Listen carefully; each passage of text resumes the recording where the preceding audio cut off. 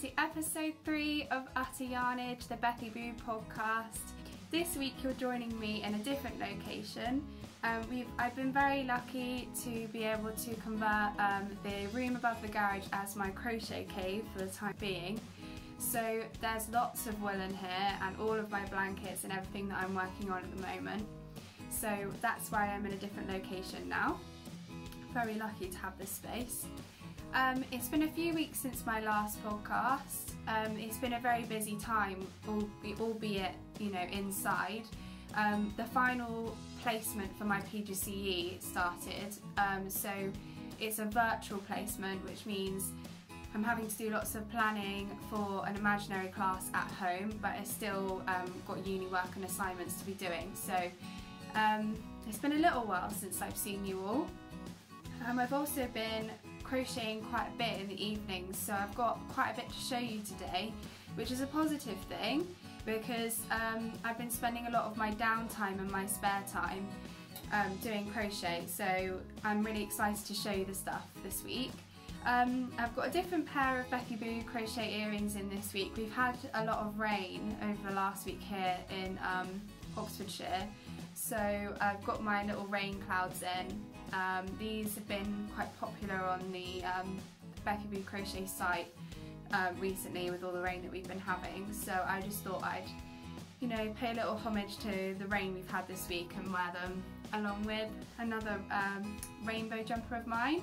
And I have an extra rainbow jumper to show you this week so exciting stuff. So um, the first thing that I want to show you is my isolation creation blanket now it hasn't grown that much um, over the last few weeks because I've been working on other crochet projects. So let me just show you how, how big it is now. So I like this new setup by the way, this is great. Um, my partner for our anniversary bought me a, a stand for my phone so it means that it's not leaning up against my laptop which is what was happening before. Um, I've also got uh, this beautiful sign that my granddad um, sign, he's a sign, well he was a sign writer, so he's had the time to um, create this amazing sign for me which I absolutely love. So this will be featuring in the background of um, future podcasts. Um, anyway, getting back to the isolation creation blanket, it's about this big now, so you can see, and because I've got this new setup, you can actually see the full size quite nicely.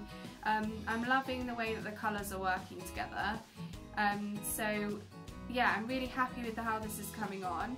However, I would like to be working on this a little bit more over the next week or so so that it starts growing a little bit more um, now that I've finished a few projects but I'm, I'm really liking it and what I'm, I'm planning to do um, is have quite a thick border around the outside. Now I haven't fully decided um, what kind of border I'm going to do yet but it's going to be a thick border unlike the border on this um, Attic 24 cozy stripe blanket I've got behind me. This is quite a thin border going around because it's such a big blanket. Um, I only went round the whole blanket four times um, so I'm hoping to have something a little bit thicker for this isolation creation blanket, but it really does depend on how much um, scrap yarn I've got left at the end that will suit the colour scheme. So um, I will keep you updated with this over the coming weeks. But yeah, this is great and it's been lovely to work on and lovely to pick the colours out. Um, so that's how the isolation creation blanket is coming along. Now without further ado, um, I know quite a few of you have been really excited to see how my um, rainbow jumper is getting on. Um, if you follow me on Instagram or Facebook, and I'll leave the details at the end of the video and also in the description for the video if you would like to follow me on either um, Instagram or Facebook.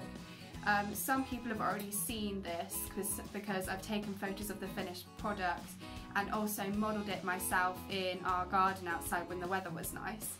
Um, so I'm going to show you it now, but I'm I'm so over the moon with this. I've been wanting um, a rainbow jumper for so long, and it really makes it, you know, more special that I've made it myself, um, and you know, put the time and the energy into making it something that I know I'm going to wear.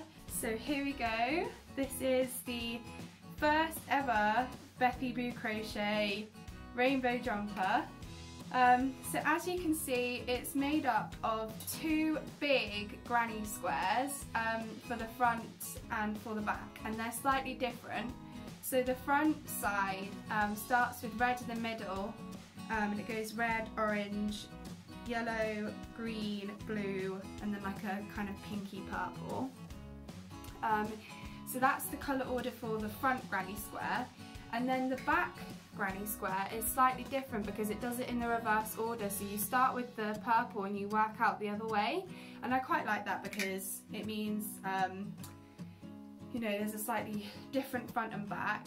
Um, and then for the sleeves, you do two slightly smaller granny squares. And as you can see, um, it doesn't have as much white in the sleeves. And you then fold them in half and do the seam up the side um, and then you sew it all together and you add a little hem around the front. So the hem at the front is slightly shorter here than the back. The back has got an extra two rows to make the back slightly longer, um, which I really like. So yeah, it's just great and I really like it. And the neckline is cool. So you've got like um, a tiny little um, finishing of white around the neckline. Um, I mean, it's it's not not dissimilar to this jumper in that it comes up quite high um, across your neck. Um, but it's just great and I really like it. The only downside to this jumper I would say if I would have to evaluate my work is that this is in the 8 to 10 size, um, which actually is still quite baggy and I normally am a, I'm normally a size 10 and if I want something baggy then I buy size 12. So this is following the 8 to 10 size and the front and the back, so the bit that goes around your body, is quite baggy. However, the um, sleeves, I probably could have done with putting an extra two rows of the granny square on to make them slightly um, slightly looser around the arm, a bit like this jumper here. You can see that my armpit's actually quite up here, but um, this doesn't, it's not tight underneath, the seam isn't tight. So whereas this one it, does actually hug my arms quite a bit. So next time I would probably make the sleeves slightly bigger and um, adapt the pattern for my body a little bit better. Um, and then it would be a perfect jumper.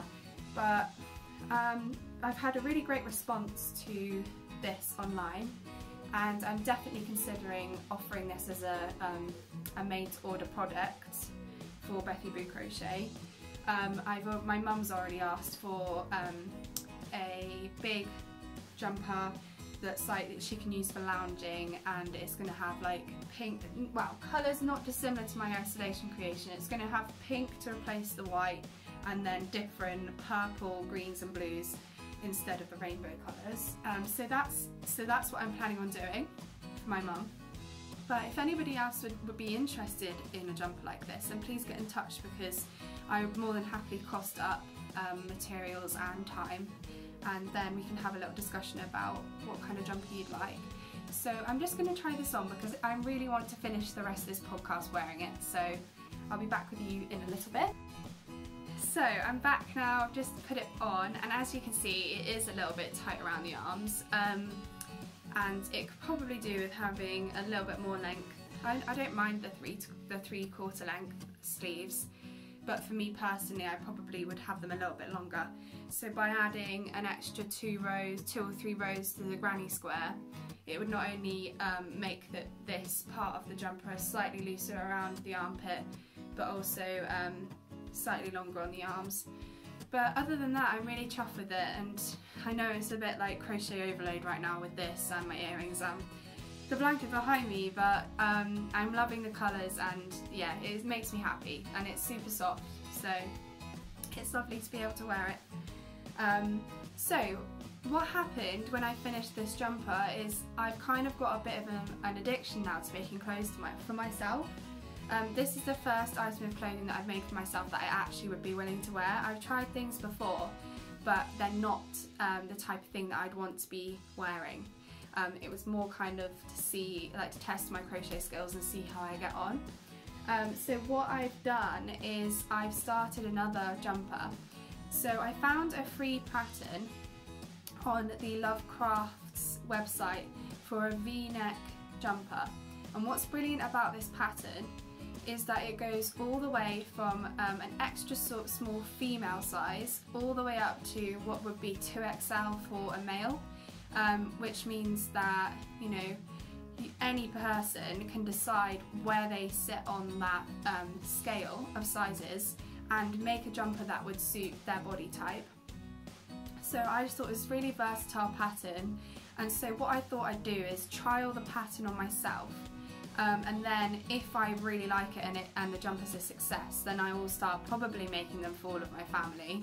I've always wanted to make Ben um, a jumper in like an ocean tealy kind of jade colour because um, it's his favourite colour. So if this pattern goes well then I'll probably make one for him. Um, but the thing that I have done with this pattern um, is that I've, I've adjusted it slightly to make it a cropped jumper because I quite like wearing cropped um, jumpers and t-shirts and things over high-waisted jeans and high-waisted culottes and things. So um, I'll put the pattern here in case anybody's interested. The picture that's in the pattern is um, a child-sized jumper so it doesn't give a perfect um, picture of what the jumper will look like as a finished product but it does give you some idea about um, you know what it will look like. So I've started in this beautiful yarn, I'll bring it up close to the camera so you can have a look. So it's um, variegated in colour um, and I will, in a second I will show you what um, yarn this is.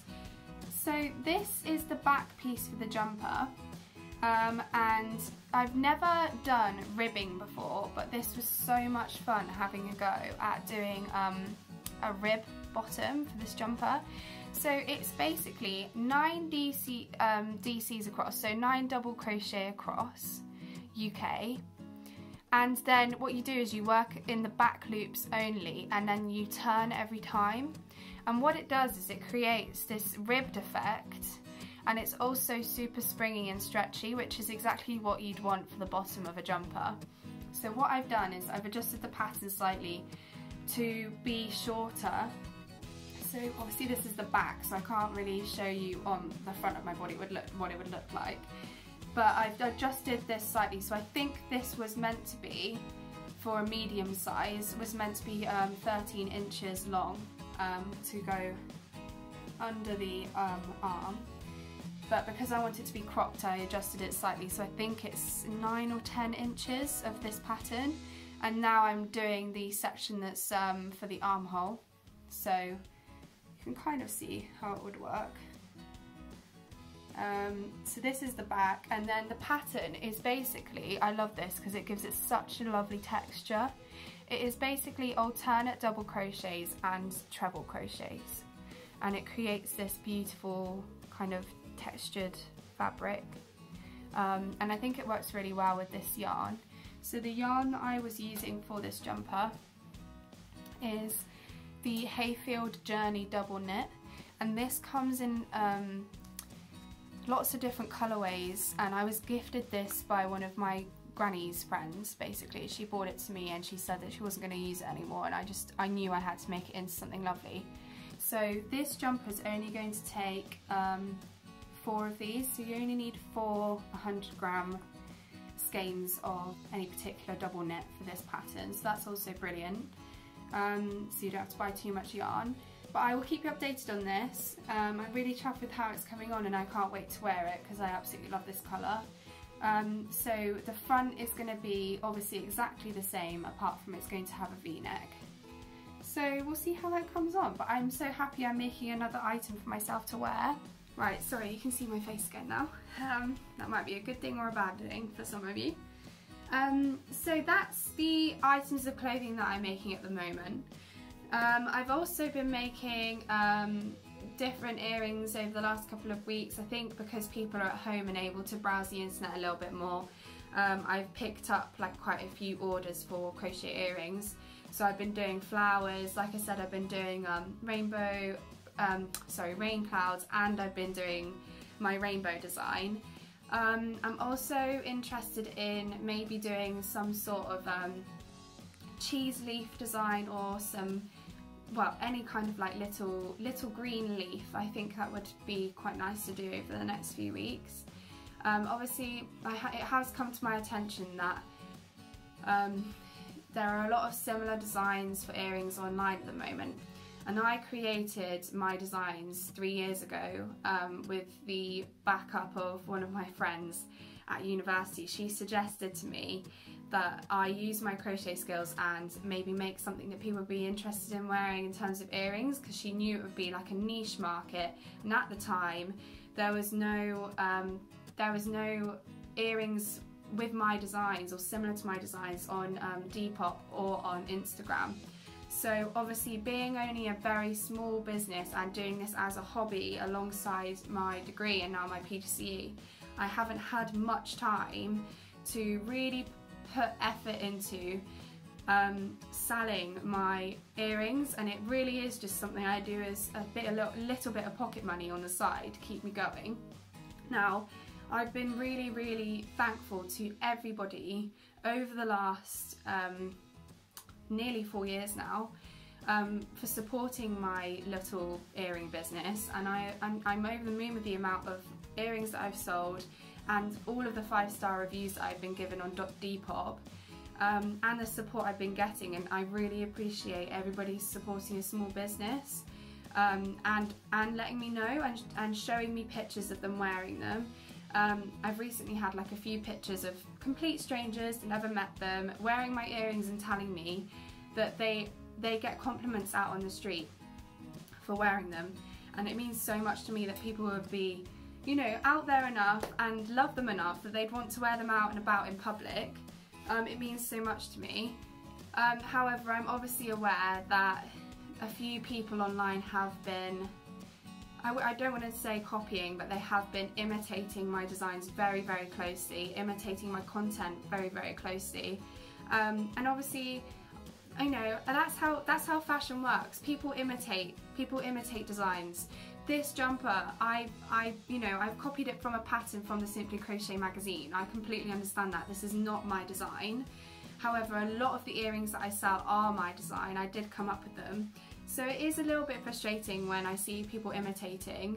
Um, but all I will say is that if you can if you can continue to support small businesses and and just continue to support what people are doing, it means that we're able to come up with new designs and we're encouraged enough to put new designs out.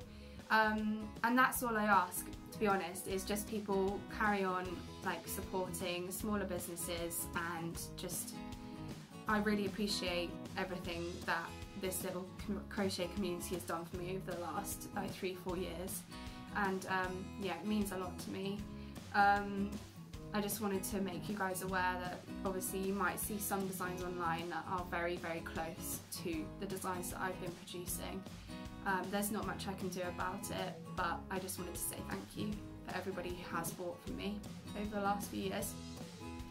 Um, so in, with that in mind, I've been so chuffed over the last few weeks to have been contacted by um, a few different people about doing commissions. So I just wanted to show some of the stuff that I'm working at the moment because it's really exciting. So a friend of mine um, from school, um, you know, a few, obviously we were at school a while ago, but she is a friend that I had from school. Um, she commissioned me to do a baby blanket for her friend, um, like little baby Daisy. So um, I'll put a picture of that here. And then in response to that, I've had some people asking me to do similar designs for um, newborn babies that are coming into the world, which I'm very, very, very thankful for because it's so nice. It's so nice for me to know that there's going to be tiny little babies somewhere with something that I've made. Um, so I was contacted by, um, someone to do kind of like a, um, a yellow gender neutral baby blanket. Um, so it was a lot of fun picking the colours out but these are the colours I'm going to be doing for the baby blanket. So we've got the Stylecraft um, Special DK in Lemon, Stylecraft Special DK in Citron, and then this one is specifically designed for babies um, because it's so soft. And this is the special Stylecraft double knit for babies and it's in cream. Um, and so these three colours are going to be um, together in like a gingham style um, solid granny square pattern. Um, so I've obviously, I've been working on them, so I've got stacks and stacks and stacks of um, little solid granny squares that I'm going to be sewing together into a gingham style baby blanket for that commission. So that's really lovely to be working on at the moment and I'll keep you updated with how that looks. And then I'm so excited for this next commission I've been asked to do. So Ben's auntie contacted me saying that she really wanted a blanket this kind of size in um, colours similar to a map of Rome in her bedroom. Um, so I had a little look and played around with some of the um, colours in the Stylecraft range and um, as you guys know I love organising and designing blankets so I've made um, a little colour chart of the colours that I chose. So we've got tomato, spice, vintage peach, apricot, citron, buttermilk, lemon, meadow, cypress, Lincoln, denim, cloud blue, spearmint, pale rose and powder pink and these colours all match the um, map that she sent me that's in her bedroom at the moment. Um, so I, I, I managed to match them quite closely but what I didn't realise I've actually ended up doing is creating almost like a rainbow um, yeah just matching like a rainbow but in like a, a, a pastely more powder um, colour than the one that I'm wearing obviously it's a bit more like you know, toned down and subdued. So I first put this little card together with all the colours and then what I did is I made two swatches up. So I've done, I first of all did this one. So these, when the wool arrived, I then made a swatch up. So this is um, one colourway that I was thinking for the, for the stripes in the blanket. So you've got um, tomato, spice, vintage peach, apricot, citron, buttermilk, lemon, meadow, cypress, Lincoln, denim, cloud blue, spearmint, pale rose, powder pink. So that was one possible colourway for the blanket. And then I thought, I played around a little bit more and I thought that the pinks looked a little bit odd down the bottom if it was meant to be like a colour wash or rainbow. So then what I did was I made another swatch up and what I did was I swapped a few of the colours around and I, I personally prefer this one.